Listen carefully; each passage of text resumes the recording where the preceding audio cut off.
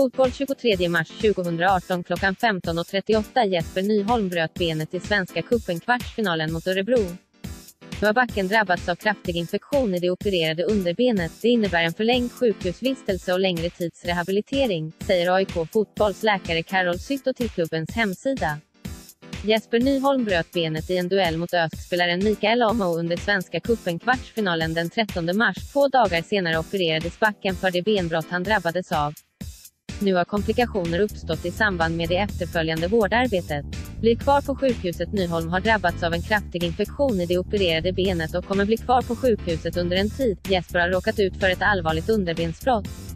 Frakturen har drabbat både underbenet och skenbenet. Dessutom har Bendelar skadat huden och blottat frakturen, en så kallad öppen fraktur. En känd risk till en sådan fraktur är en infektion. Trots alla ansträngningar och intensiv profylaktisk behandling har Jesper fått den fruktade komplikationen. Nu koncentrerar sig läkarna på behandling av den uppkomna situationen.